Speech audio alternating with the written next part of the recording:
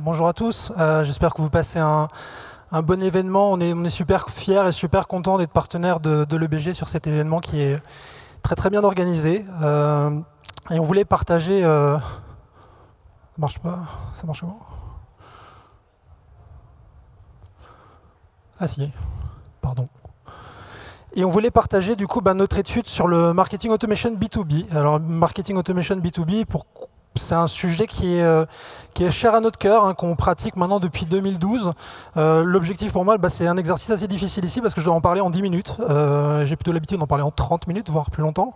donc je vais essayer d'être assez synthétique et d'être assez bref pour qu'on ait le temps d'échanger avec nos experts. On a pas mal de gens aujourd'hui qui utilisent ces technos-là au quotidien et je trouverais ça beaucoup plus intéressant d'avoir leur retour. Et puis ce qui est aussi aujourd'hui, bah, tout finalement, toutes les conclusions, etc., sont aussi présentes dans l'Yearbook que je vous invite à consulter d'ailleurs à ce sujet-là. Le but pour moi, c'est de faire une rapide intro, de vous expliquer où est-ce qu'on en est aujourd'hui, euh, de vous expliquer la méthode qu'on a utilisée pour présenter ce benchmark, euh, quelques grandes synthèses au niveau des résultats, et finalement aussi de laisser la place à la discussion euh, et d'écouter nos, power users aujourd'hui. Alors un petit mot sur Mark pour ceux qui ne nous connaissent pas. On est on un peu plus de 30 aujourd'hui. On est une société euh, de services qui se positionne à, à mi-chemin entre le conseil, l'intégration et le métier d'agence. Alors pourquoi ce positionnement-là? Bah, C'est difficile de nous définir aujourd'hui parce qu'autant on fait des campagnes, on met en place de la technologie et puis on accompagne nos clients à euh, imaginer des dispositifs technologiques qui sont différents euh, puisque tout ça a beaucoup changé. Avant on faisait une newsletter bah, finalement par mois euh, où on parle de la même chose à tout le monde. Maintenant on va peut-être faire bah, des campagnes spécifiques, des scénarios, persona orientés, différents par vertical, différents par niveau de maturité. Bah, tout ça, ça crée de la complexité et on vient essayer d'organiser ça avec du conseil.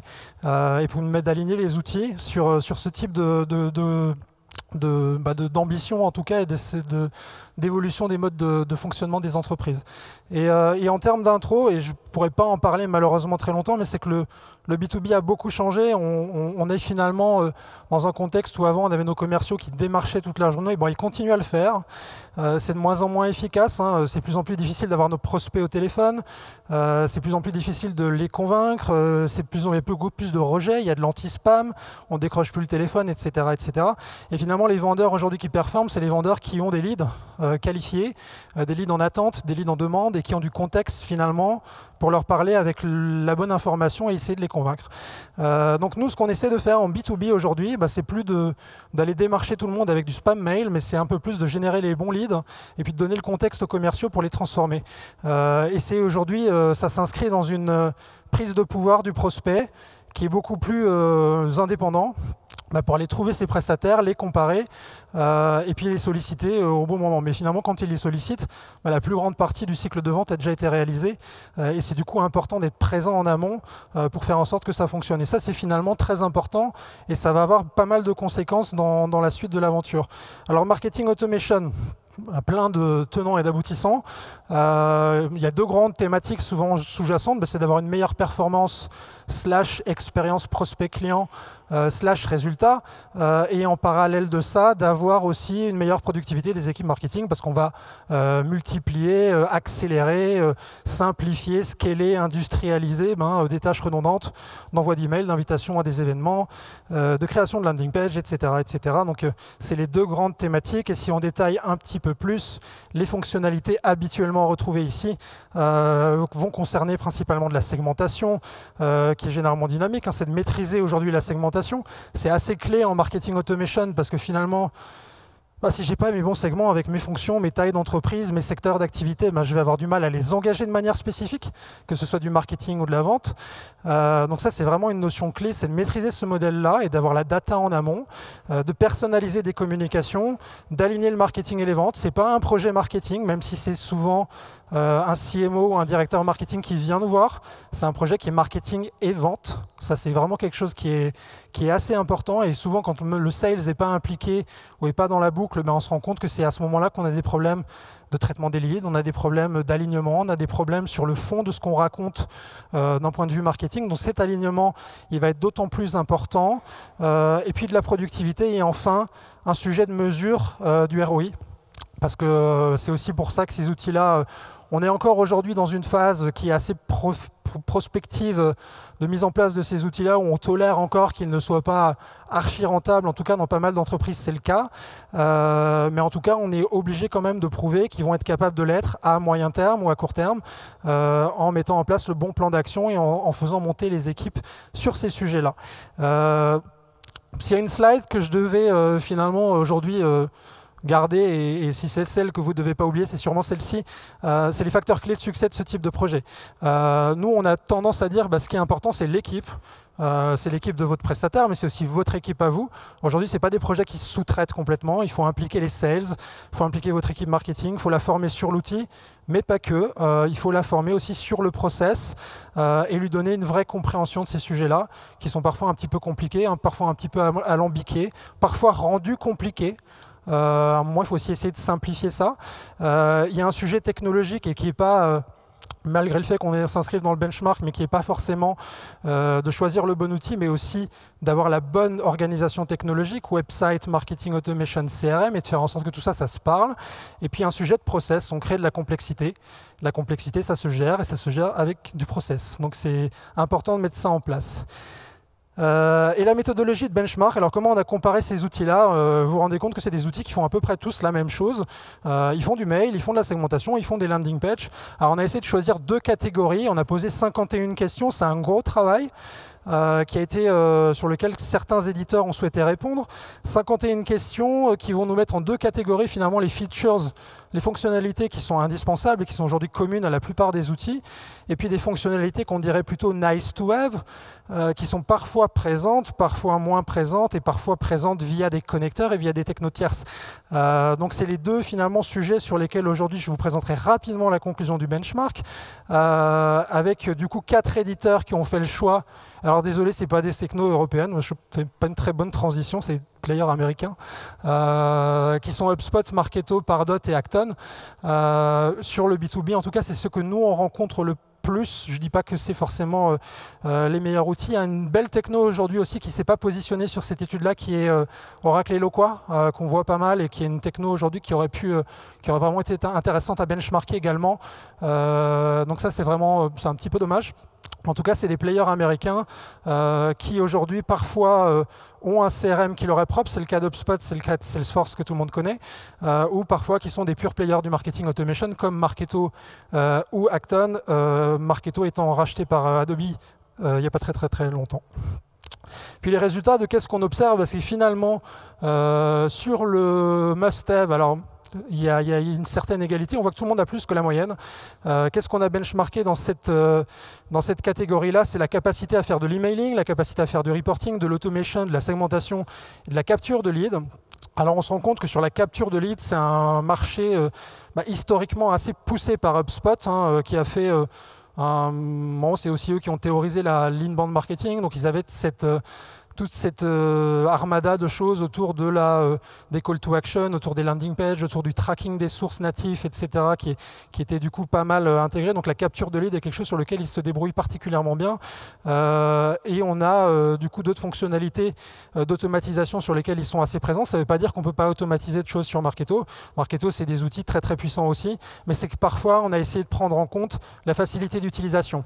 parce que ça, c'est aussi quelque chose qui n'est pas toujours simple. c'est que c'est des outils qui sont parfois compliqués à mettre en œuvre, parfois compliqués à déployer, parfois compliqués à maîtriser au quotidien. Alors on peut tout faire avec eux. Maintenant, c'est parfois plus ou moins facile d'une techno à l'autre. Euh, et c'était pour nous aussi plus parlant de faire ce travail plutôt que de faire un tableau avec bah, des croix partout, tout le monde fait de l'email, tout le monde fait des landing pages, tout le monde fait des segments, euh, c'était un peu moins intéressant. Euh, mais on le verra aussi après tout à l'heure avec les témoignages que c'est pas forcément la techno qui fait le résultat, euh, mais c'était ça qui était important de voir, c'est que tout le monde a plus que la moyenne sur le must-have, donc ça va pas se jouer là. Et sur le nice to have, bah, il y a du nice to have dont vous n'avez pas besoin. Bah, alors finalement, bah, ça sert à rien de le regarder non plus. Mais le nice to ça va être des fonctionnalités typiquement comme l'ADS, la capacité à déployer des actions sur les réseaux sociaux, euh, la capacité à gérer les contenus, la capacité à partitionner du contenu, euh, la capacité à mettre en place des actions sur le référencement naturel. Bah, Aujourd'hui, c'est des outils que vous, enfin des initiatives que vous pouvez traiter avec des techno propres, ou c'est aussi des initiatives que vous pouvez traiter euh, avec bah, du coup des outils de marketing automation de manière plus ou moins aboutie Et voilà, ça, vous donne du coup une représentation qui est beaucoup moins équivalente des softwares qui ont chacun des choses différentes à voir. Moi, je vous invite à regarder dans le détail euh, dans l'yearbook bah, tout ce qu'on a écrit sur ce sujet-là. Et si vous voulez euh, échanger bah, soit avec des users, soit avec notre équipe sur ce sujet-là, bah, on aura l'occasion d'en reparler ce soir ou demain. Euh, mais je pense que le moment est venu aussi d'accueillir nos users. je les invite à, à, venir du coup si vous voulez me rejoindre. Comme ça, on va, on va rentrer dans le, dans le détail. et en attendant qu'ils se, qu se positionne sur scène euh, juste quelques éléments euh, projectifs aujourd'hui. Euh, c'est que le marketing automation maîtrisé, bah, c'est finalement aussi une centralisation de la data. Ce qu'on essaie de mettre en place, bah, c'est des actions marketing, des actions sales qui vont être déclenchées sur la base de la donnée. Donc plus on a de données centralisées, plus on est en mesure de mettre en place des actions qui sont pertinentes. et plus ces outils-là vont être ouverts et intégrés avec d'autres choses, bah, plus notre capacité à récupérer de la data de comportement, d'action, etc., va aussi être améliorée. Euh, et puis dernier point, imaginons aussi que le contenu, euh, on a eu cette vision-là euh, pendant plusieurs années de la landing page, l'emailing, le livre blanc qu'on télécharge, etc. Aujourd'hui, c'est des choses quand même qui créent de la friction dans l'expérience du client. L'objectif étant aussi de plus en plus bah, d'avoir des expériences qui sont moins avec moins de friction, donc bah, du contenu qui n'est pas derrière une landing page, des call to action, des pop-up, des simulateurs, mais finalement des initiatives qui vont nous permettre euh, bah, de, diffuser du contenu, de promouvoir nos marques, de partager nos cas clients, sans forcément essayer de récupérer à tout prix un email systématiquement, et d'adosser aussi des technos euh, bah, type ABM par exemple à, ce type d'outils-là. Euh, bah, voilà, je vous laisse mes coordonnées là, et puis on aura l'occasion du coup d'en reparler, reparler sur le stand, ou ce soir, n'hésitez pas à venir nous voir, je suis aussi là avec, avec Patricia qui est avec moi aujourd'hui. Bon. C'était speed. Euh, du coup, bah, on a Ivan euh, euh, Subilo qui est social media manager chez Engie. On a Alexandra Laronce qui est marketing manager chez CGDIM. et on a Franck qui est aujourd'hui chez Antalis, responsable de la transformation digitale et du marketing. Et moi, j'avais du coup, ben, je vous remercie d'avoir répondu présent du coup à cet échange. L'objectif pour nous, ben, c'était d'échanger avec vous euh, sur vos retours d'expérience. Euh, et notamment sur, dans le cadre du marketing automation, finalement, euh, le contexte prior, enfin, prior à la mise en place de ces outils-là et les objectifs du projet qui vont vous pousser finalement à, franchir le pas. Je ne sais pas si Franck, tu veux démarrer? Je dis un mot sur Antalis peut-être pour, pour cadrer le, contexte. Donc Antalis, on est euh, leader européen, deuxième mondial du marché du papier, de l'emballage et de la communication visuelle pour les pros. On est présent dans 41 pays, 2 milliards 3, 6 000 collaborateurs et euh, un groupe qui a opéré sa transformation digitale depuis euh, un peu plus de deux ans sur des enjeux qui sont liés aussi bien au marketing qu'au commercial, à la supply chain, à la RH. Donc on, est vraiment sur un, périmètre euh, en, pleine mutation. Alors pourquoi et qu'est-ce qui nous a amené euh, à faire le choix, euh, notamment d'Eloqua avec Oracle? Bah Déjà, on ne prend pas un outil pour prendre un outil. Hein. L'outil, il est lié à un contexte. Nous, on est à 70% dépendant du marché du papier, qui lui-même est en très forte mutation depuis une dizaine d'années. Donc, euh, ce qui pousse à réinventer le business model et à s'équiper d'un outil qui va fédérer et leverager les autres outils, le CRM, les sites, euh, la, stratégie social media, euh, c'est ce qui a motivé cette, cette direction. aussi pour adapter notre, notre évolution culturelle, puisqu'on passe d'un marketing produit à un marketing client on passe d'un statut et d'une culture de distributeur à une vraie culture de marchand. Et on a vraiment eu un, besoin et un, trigger qui a, qui a fait que, euh, in fine, euh, on a pu identifier des évolutions de notre business model, notamment sur le secteur de l'emballage, où nous étions très présents en haut de la pyramide en emballage industriel et on descend petit à petit euh, vers euh, un modèle e-commerce avec de la vente qui reste en B2B mais beaucoup plus en petite quantité sur des besoins beaucoup plus ciblés de TPE.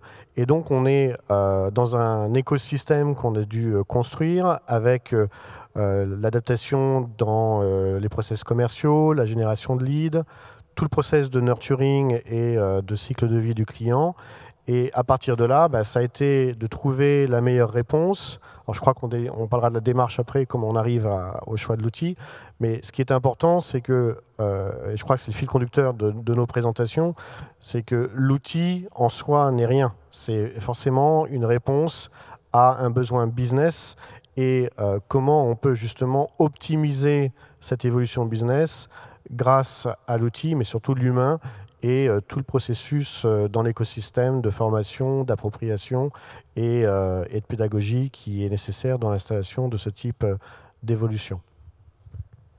Ivan, un petit mot sur aussi ce que tu fais chez Engie? Bien sûr. Alors, je ne me ferai pas euh, évidemment euh, l'avocat du groupe NJ dans le sens de vous le présenter, parce que je pense qu'on est un leader mondial qui est relativement connu. Euh, retenez simplement notre trajectoire, hein, c'est les 3D, une énergie digitalisée, décarbonée et décentralisée, ce qui est un, vrai driver. Et pour ma part, j'interviens dans une business entité qui est finalement 100% B2B sur le périmètre français, et notre métier est de vendre de l'énergie et, un métier qui n'est pas simple aujourd'hui. les drivers du projet Marketing Automation, finalement, c'était évidemment la trajectoire du groupe, s'inscrire complètement dans cette trajectoire. Et ensuite, euh, répondre à des enjeux de marché, contexte business, marché de l'énergie en France, en B2B s'est ouvert assez récemment, en tournant les années 2000, avec une forte accélération en 2015, ce qui a occasionné pour nous, acteurs historiques, euh, évidemment un renversement, un bouleversement de marché, et donc des vrais enjeux business à la fois de rétention, de fidélisation sur nos clients historiques, et puis aller à la reconquête de clients euh, qu'on avait perdus, et voir à la conquête de nouveaux clients, euh, des activités que finalement on découvrait quelque part, parce que même si on s'y préparait, ça restait quand même une vraie découverte. Et donc effectivement, il a fallu faire le choix de se, je dirais, se booster sur des mécanismes de generation, se réinventer aussi sur euh, nos storytelling, notre contenu qu'on allait euh, coécrire à nos clients, notre segmentation client qu'il fallait aussi réinventer. Et un outil de marketing automation nous aide à ça, évidemment. Laissons-moi. Donc, euh, bonsoir, Alexandra. Je travaille donc chez CGDIM, qui doit être reconnu pour ceux qui travaillent dans le secteur de la santé, peut-être pas pour les autres, à ne pas confondre donc avec COGEDIM, qui n'est pas le même secteur. Euh, CGDIM, donc c'est une compagnie qui euh, développe euh, des progiciels à destination des professionnels du secteur de la santé, donc que ce soit des laboratoires pharmaceutiques, des professionnels de santé, donc les médecins, les pharmacies et aussi les acteurs de l'assurance santé. Donc moi je travaille justement dans cette BU, la BU Assurance Santé. le groupe fait à peu près un petit peu moins de 500 millions de chiffres d'affaires avec 4500 employés. En revanche, dans la BU, du coup, enfin, le, groupe est très euh, segmenté et euh, la BU représente à peu près 130 millions de chiffres d'affaires avec à peu près 1000 employés. Euh, ce qui a poussé le projet de marketing automation au départ, c'était un petit peu la structure du business où on avait trois activités dans, la BU assurance, trois activités principales qui étaient un, la vente donc, de progiciels de gestion à destination des, professionnels de l'assurance santé. Et là, c'était un secteur, euh, enfin un segment de marché sur lequel euh, on avait une position de leadership assez forte, avec euh, une participation à 90% des appels d'offres, une notoriété assez forte aussi, donc pas nécessairement un sujet sur lequel on avait besoin de travailler. Mais en revanche, ce segment-là était en dynamique descendante. Donc l'idée, c'était de trouver des relais de croissance. Et euh, la BU propose aussi euh, deux types de services euh, aux professionnels donc de l'assurance santé, qui sont, on, opère pour eux en fait les flux de tiers payants, et on fait aussi de la délégation de gestion. Or, sur ces deux segments, on est nettement moins, comment dire, nettement moins leader, et voire même pour la délégation de gestion, qui est un secteur assez concurrentiel, on est assez assez peu connus finalement, par même par nos clients qui ne pensent pas nécessairement à nous, alors qu'ils peuvent être clients euh, logiciels. Et donc voilà, donc l'idée c'était euh, avoir de la visibilité, se faire connaître, trouver des, enfin aider, euh, comment dire, à faire entrer de nouveaux leads via une démarche un petit peu online, sachant que jusque là la compagnie était vraiment basée sur du marketing offline uniquement. Ok. Euh, alors vous utilisez tous les trois des technos différentes. Hein. Euh, elles sont pas toutes dans le benchmark. Euh, Franck, toi tu utilises Eloqua chez Antalis. Ivan, tu utilises Marketo chez Engie. Et toi, Alexandra, tu utilises HubSpot chez CGDIM. Euh, comment, dans quelle situation, enfin, qu'est-ce qui vous a amené à choisir cet outil-là? Ça a été quoi le process, les critères euh, euh, qui vous ont amené aujourd'hui à faire ce parti pris technologique-là, sachant que bah, aujourd'hui tous les trois vous déployez des campagnes avec des succès et avec des difficultés. Donc finalement, l'outil n'est pas vraiment la source du problème ou la solution à tout. Mais qu'est-ce qui vous a amené du coup à faire ce choix ou ce parti pris technologique aujourd'hui? Je suis d'accord avec toi dans le sens que les outils globalement se valent. Enfin, après, euh, c'est un tableau avec des colonnes, des lignes et on, coche euh, des cases. Euh, je pense qu'après, la question, c'est la puissance qu'on souhaite sur l'outil. C'est également la capacité d'adoption par les équipes. parce que je crois que la dynamique de maturité des équipes, et là, je ne parle pas que de, de maturité digitale, je crois qu'il faut vraiment euh, mettre dans, le pot de la maturité toute euh, l'évolution des process euh, commerciaux. nous, notre évolution vers l'e-commerce, le pur e-commerce, elle est, très très récente, hein, puisqu'on est issu d'un modèle de distribution classique. donc on doit vraiment travailler sur d'abord sur le fonctionnel. Ça, c'est le premier périmètre. Le deuxième périmètre, c'est l'appropriation encore plus dans un groupe où on a, euh, nous, euh, ben, on a 41 pays, donc on a aussi forcément des, décalages culturels. Euh, donc il faut aussi s'assurer du bon accompagnement des équipes. Avoir une Ferrari qui ne bouge pas, ça ne sert pas à grand-chose. Donc il faut vraiment cadencer, rythmer ce processus d'appropriation. Après, je crois que le marketing automation en soi n'est pas une finalité il faut, euh, il faut bien sûr évaluer dès le début et donc se projeter, ce qui est un peu difficile, dans, encore une fois, l'écosystème euh, qui, est, euh, qui est lié, le CRM, le RP évidemment, la plateforme de social media, et par ricochet, le social selling, enfin tout ce qu'on veut faire avec, parce que à la fin, tout ça se déverse dans le process de marketing automation et c'est là où on va avoir un vrai retour sur investissement pour calibrer euh, la génération de business et remonter le, fil de la pelote de laine, à savoir que ben, c'est bien une campagne euh, via euh, LinkedIn, etc., qui a déclenché la mise en relation et, in fine, une prise de commande. Donc je crois que c'est ça qui est important. après, il faut toujours apprécier ce processus dans, un, dans une démarche qui est réitérative au sens euh, on travaille par vague. En préparant l'intervention, on se faisait la remarque que bien souvent, avec du recul, on regarde l'installation marketing automation un an, deux ans après, et puis on se dit, tiens, c'est quand même pas forcément conforme au cahier des charges qu'on avait signé. Bah, je crois que c'est aussi ça la réalité, c'est que c'est un projet qui est vivant, avec des équipes qui, encore une fois, vont se l'approprier aussi au gré de l'actualité d'entreprise et euh, je pense que euh, faire abstraction en amont euh, du, côté maturité, readiness du business, c'est, je pense, se tirer une balle dans le pied dans la capacité de lancer sereinement ce type de projet, qui met quand même l'entreprise sous tension. Il hein. faut, être pragmatique. C'est pas facile. je vous décris un, un, sujet qui est, qui est correctement abouti au bout de 18 mois, 24 euh, mois, euh, ça reste euh, compliqué culturellement, humainement, des process qui doivent être revus. Donc c'est aussi un process qui est laborieux et ça aussi il faut l'anticiper parce que c'est pas une course contre la montre hein, d'installer euh, du marketing automation. Et, du coup, pour revenir juste euh, pour, euh, sur la partie technologique, donc le choix de l'éditeur, parce que c'est quand même l'enjeu du benchmark aussi, entre, bah, j'imagine, tu as eu Oracle, enfin, tu as dû voir les trois ou quatre gros players du sujet. On a vu les trois qu'on a cités tout à l'heure. C'est ça.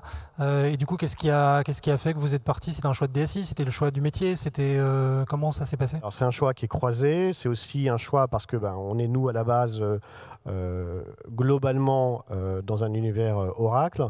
Donc on a voulu aussi avoir une cohérence pour justement leverager tous nos investissements pour autant, ce n'était pas donné d'avance et on a, on, a fait, on a été fair play sur cette capacité à, auditer les pays, et notamment sur une, collaboration de plusieurs pays pilotes. Et, je crois que c'est cette objectivité qui a aussi montré que in fine, ben, on, avait, on avait aussi euh, une culture oracle qui était un peu euh, plus avancée sur, euh, certaines, sur certaines compétences métiers. Et je crois que ça facilite aussi le processus d'appropriation. Parce que même si c'est un outil à la fin, de dire qu'on va rajouter une autre marque en plus d'Oracle, etc., je crois que ça crée une appréhension supplémentaire qui n'était pas nécessaire encore une fois, à ISO fonctionnalité d'évaluation qu'on avait mené avec un intégrateur, un, cabinet externe euh, de conseil. Donc on était aussi, encore une fois, le plus euh, neutre possible dans la phase amont de détection des, de réponse à nos besoins. Ok. Ivan, sur la choix de le choix alors, effectivement, on a, on a recensé euh, les principaux acteurs hein, du marché. il faut savoir que dans le processus de, choix, évidemment, les équipes sales, marketing, mais aussi DSI étaient, étaient forcément impliquées. de par la nature de nos activités, la complexité du portefeuille client, multisite, euh, qui opère beaucoup de données très croisées dans notre CRM, et puis l'historique de notre SI. La voix de la DSI chez nous a été prépondérante. Euh, et il a fallu aussi réassurer ces équipes-là par rapport à la capacité d'intégration, euh, sachant qu'on a aujourd'hui un CRM qui est Salesforce, et qu'également le DSI ne voulait pas forcément mettre tous ses yeux dans le même panier. Donc la voix de la DSI chez nous a été prépondérante dans le choix, effectivement. Et Alexandra? Alors, euh, j'aimerais vous dire, comme mes collègues, que nous avons réalisé donc euh, une démarche approfondie d'analyse de l'ensemble des concurrents. Eh bien non, ça n'a pas été le cas. Euh, déjà, la démarche, elle est venue en, bottom-up. Elle n'est pas venue, pas une, une, requête qui venait de la direction, mais bien une envie de dynamiser un petit peu l'entreprise qui venait du marketing. et après, la personne qui était en charge à l'époque du projet, je pense qu'elle a pris une décision assez pragmatique. Elle connaissait l'outil.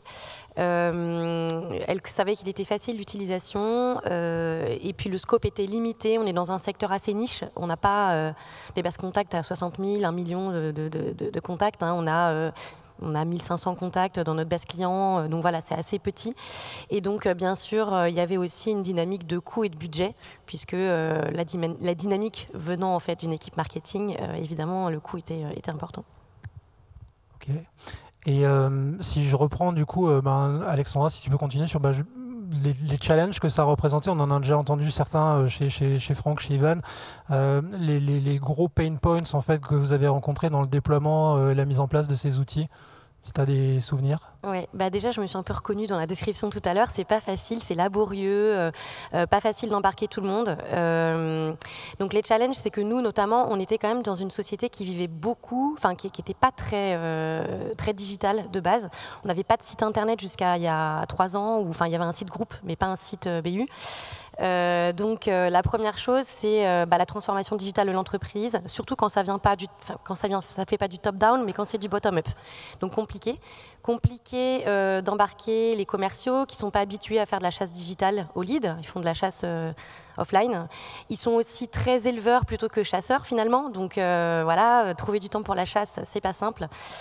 Euh, et puis, euh, et puis euh, la, gestion globale quand on a une petite équipe digitale, puisque, comme je vous disais, la, la, la compagnie, donc CGDIM, est très décentralisée.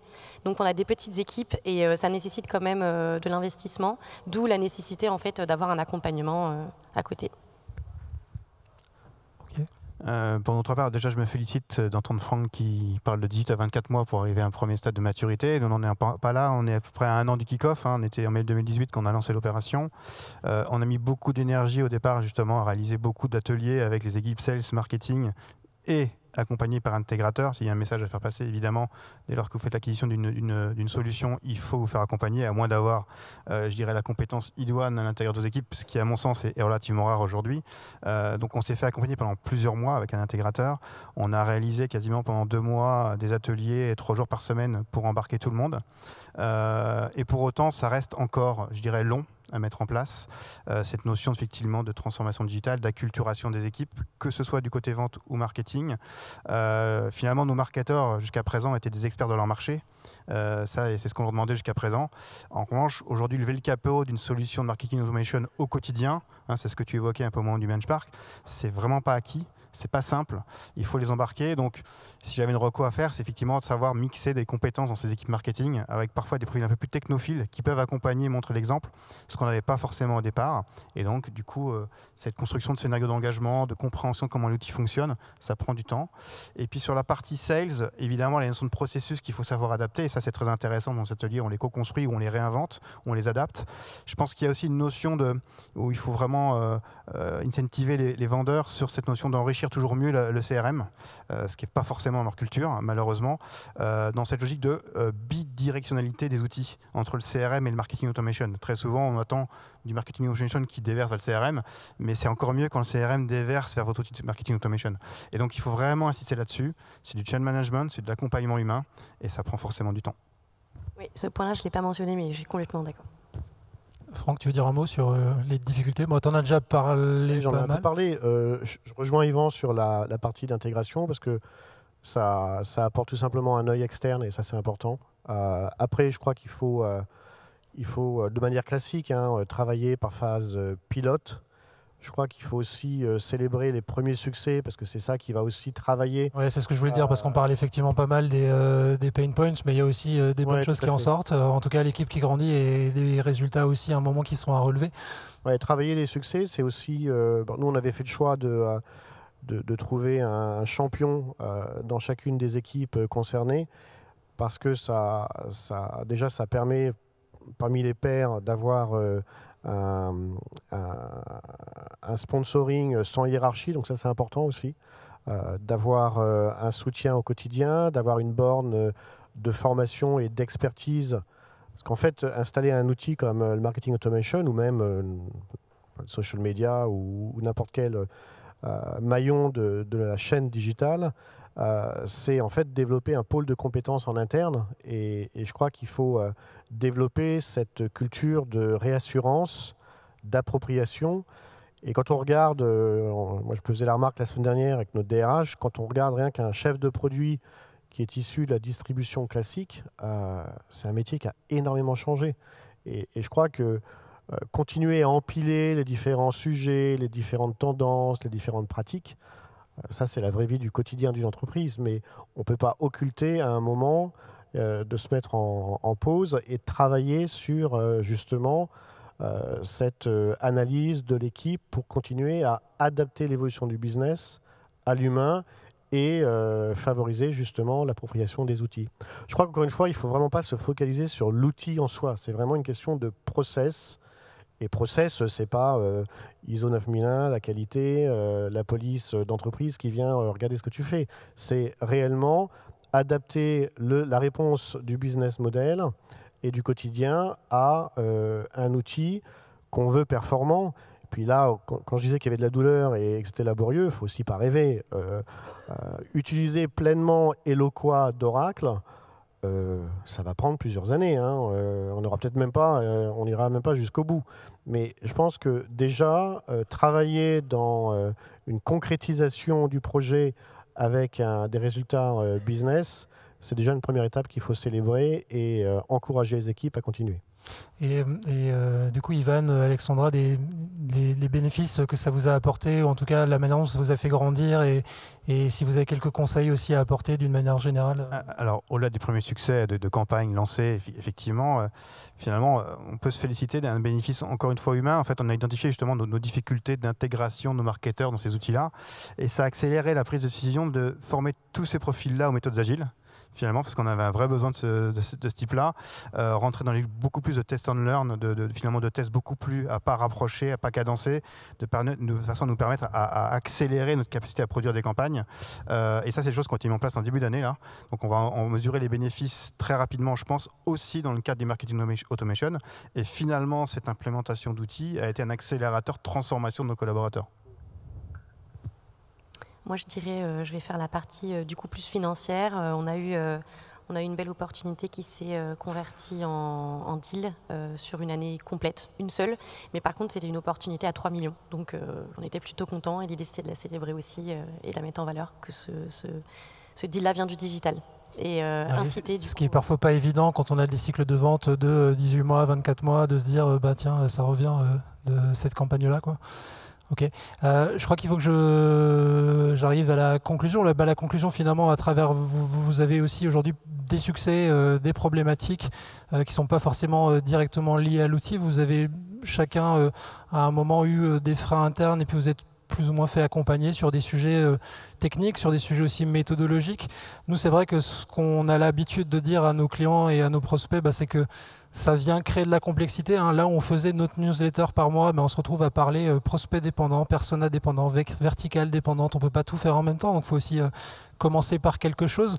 Euh, ça peut créer de la difficulté, ça crée aussi une surcharge de travail, c'est nouveau. Hein. Et dans les grands groupes, bah, c'est aussi des process de validation qui doivent évoluer. donc ça, c'est tous ces sujets-là aujourd'hui sur lesquels bah, on, essaye aussi d'accompagner les entreprises bah, chez Marketive et puis chez, avec nos confrères.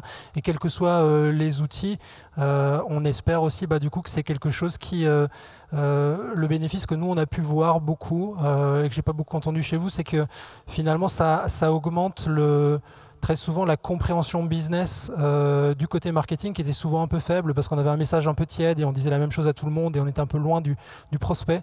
Euh, bah, maintenant, devoir personnaliser des discours et aller très très loin dans le cycle de vente, bah, ça demande de se, se, senioriser quand même dans qui, sont nos clients, quels sont les arguments, quelles sont les objections. Euh, et ça fait grandir aussi les équipes marketing, ça les rapproche, je trouve, du but. là où on était souvent un petit peu quand même un peu plus protégé et un peu plus en arrière. Je vous remercie. Euh, et puis euh, merci à tous d'avoir euh, du coup participé à cette, à cette table ronde. Et puis si vous voulez échanger, ben, échangez avec eux, avec nous, avec plaisir. et puis je vous dis à bientôt. Merci.